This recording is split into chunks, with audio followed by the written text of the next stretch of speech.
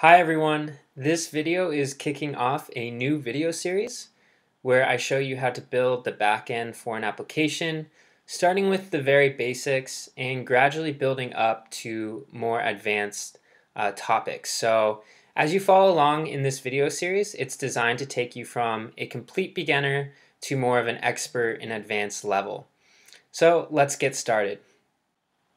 And for the entirety of these videos, I'll be using a mall directory app that I'll be building out um, in each video.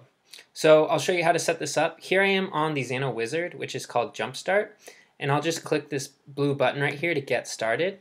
And here we create our workspace. And I think of my workspace as being synonymous with my app, but it's essentially just a virtual container where your project is going to sit. So I'll go ahead and name mine uh, mall directory app and just call it a uh, mall directory in the description. I'll go ahead and hit continue.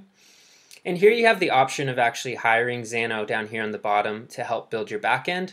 Um, but for the tutorial, I'm showing you how to do this yourself. So I'll click that top button. And here we set up uh, both our database and API. So first with the database, um, if you've never worked with one before, you can understand that that's just where your content and your data is going to sit. I like to think of it like a filing cabinet, and within that filing cabinet are different folders, and those folders um, organize all your data, which is what your database tables are. So here we set up our tables. Xano gives me this user table because the vast majority of time, applications are going to need a user table. If yours doesn't need one, you can just delete that. Uh, for this example, my mall directory app, I'm going to have a user table and also a stores table for now. And we can always add more later, so don't worry if you're not sure here. Additionally, here we're setting up our API. And if you haven't worked with your API before, going back to this filing cabinet example, you can think of um, the API like the office clerk. And so you tell the office clerk you need some information, so the office clerk uh, figures out what information that is, goes to the filing cabinet, goes into the database tables and gives you back that information. So that's what the API is doing. It's essentially communicating between your front end um, and your back end and bringing data from your database table to your front end in a readable way. So Xano sets up these basic uh, CRUD API endpoints, and we'll go ahead and talk more about these later, but if you don't know how to do this, this can take a lot of time and a lot of head scratching. So I'm going to leave this checked. And the last step of the wizard is Xano's asking us how our users will log in, and it's asking us which table contains your users. Intuitively, it sees we have a user table, but you're free to use the drop-down menu and click whatever you want. I'm going to use the user table. And now we can uh, select how our users are going to sign in and log in. So one option is email. We can also do both email and allow your users to sign in and log in with their Google accounts, or either or. And we'll be adding more features like Facebook, GitHub, um, and other providers here shortly. For this example, I'm going to leave it as email and I'll hit finish and see you in the dashboard. Okay, so now that we finished the Jumpstart wizard, we find ourselves in the Xano dashboard, which is going to be our home base for our workspace and our project. So first I want to point out on the left side, uh, there is this navigation bar that allows you to jump to the different pages of Xano. Don't worry, we'll be going into all these. But also there are these links to these resources at the top of the dashboard where you can find information if you get stuck, you want to learn more about a certain topic, or you just want to ask for help. And now I just want to scroll down here in the dashboard and draw your attention to this get started in five minutes. So if we follow these steps, we can have a Xano uh, backend ready to go and ready to plug into a front end uh, pretty much instantly. So the first is to add content to the database, and I'll run you through this. Uh, the second is to customize how the data gets sent uh, through the API, and that's actually an optional step because we enabled Xano to automatically generate those CRUD API endpoints during the Jumpstart wizard. So those are actually ready to use and ready to plug in to the front end uh, without us doing any configuration. So the first step, let's add content to the database. I'll go ahead and click on that and I'll be in the database page. And the first thing we notice on this page is that there are those two tables that I set up during the Jumpstart wizard. Well, first is that user table, which Xano actually gave us. And here's the stores table that I entered in. So that's where the data of my stores are going to sit. Additionally, I said we can add tables now that we're in Xano. So there's this button at the top right. Once I click on that, we can create a new table and Xano will give us those basic CRUD endpoints uh, once again if we would like. So I'm going to go ahead and click into the user table. And when I do, we can see that there are these different columns or fields that Xano automatically populated.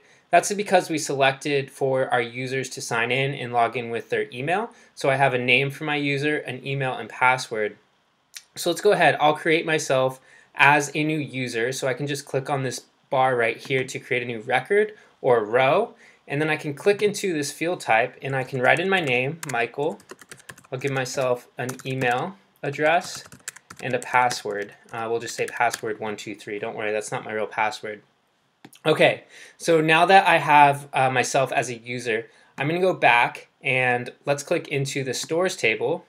And in the stores table, uh, we can see that there's no field types yet. So in order to do that, we can go ahead and click on this black plus button to add new fields or uh, columns, if you will. And this window will open up with all these different options for field types. And they have little descriptors underneath each of them. And Xano does a great job of showing you the common most for right here. And if you want more information on any of these, uh, we go into more detail in our documentation, but I'm sure I'll be using uh, some more of these in future videos with this exercise. For now, I'm going to click on this text field, and then I'm going to type in name because I want to know the name of my stores. I'm going to hit this plus button again in the text field one more time, and then I'm going to do a description uh, for my stores. And I'm going to add one more field for now, I'm going to uh, click this plus button, do text one more time, and we'll say I want a location because after all, this is a shopping mall directory. So in the same way I did in the user table, I can add a new record here. So let's say the first store in my mall is an Apple store and it is an electronics store and the location will be uh, floor one, maybe unit A. Okay, let's add a few more so we have more data to play around with. Um, I'll go ahead and click a new record again. Let's say there is a Starbucks and this will be categorized in the food section. And then location will be maybe floor two and unit B. And let's do one more uh, record for now. So I'll click new again and we'll say that there is a, a Nordstrom and we'll call it a department store. And maybe we'll say it's D1 and D may, might just stand for department in my mall. Okay, so now that we have uh, data entered into our database tables, I want to take us back to our dashboard. So I'll click over here. And just reviewing these get started in five minute steps. So we added content to our database and then we can customize how that data gets sent through the API, which is optional because we have those endpoints already set up. And now we're technically ready to connect to a front end if we don't want to customize uh, those APIs. So if this is in fact your very first time uh, building an app or web application and you're completely new to uh, this development and working with backends, then I actually do recommend you stop here, uh, plug Xano into your front end and explore all you can already do um, with those ready to go CRUD endpoints and and see if you need to expand your capabilities and if so, you know, come back to Xano, watch these videos, uh, build your knowledge and your foundation, and start adding those piece by piece into your application as you see needed.